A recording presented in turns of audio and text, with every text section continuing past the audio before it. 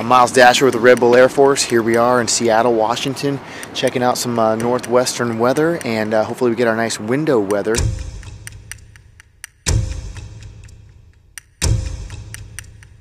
Some of my favorite skydivers in the world and the best skydivers on the planet.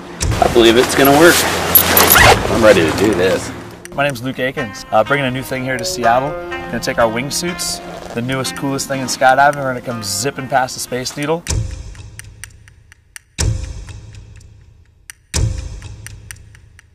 Normally we're going down about 120, 130 miles an hour.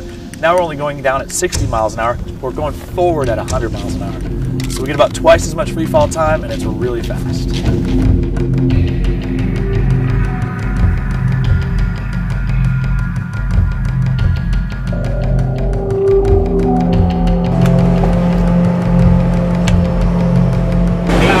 got to get it clearance, clearance.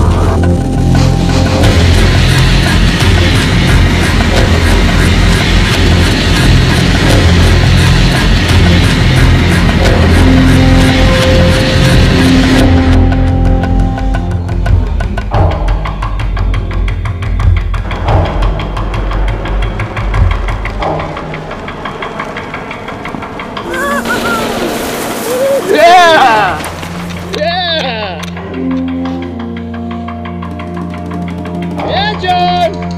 Woo! Happy birthday, man! Woo!